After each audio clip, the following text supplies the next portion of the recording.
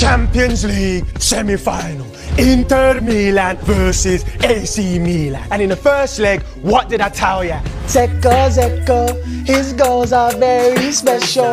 And Mkhitaryan got the job done, giving Inter a 2-0 lead going into tonight. But they know AC Milan missed them layout, layout, layout, yeah, yeah. It's back, so it's gonna be a different game. AC need to defend well and take their chances. They need a goal from Drew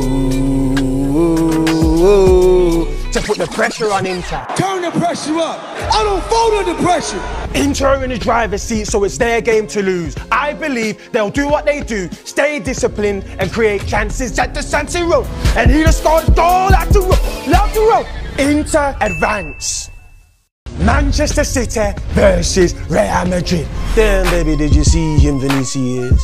Vinny was doing this, Vinny was doing that. But it was KDB with a screamer bringing Man City back into the game. And Rudiger was on some Mortal Kombat, Scorpion stuff with Haaland. It's 1-1 going into tonight, and now we're at the Etihad. Real will do what they're known for, controlling the tempo midfield, getting the ball wide, and feeding Benzema. He's got the goals, he's a winner. City will look to control possession, be clinical in front of goal, and try to stifle Vinicius. It's a tough game to call. I believe Real have a massive chance of winning. But it go Haaland header, then Haaland shooting.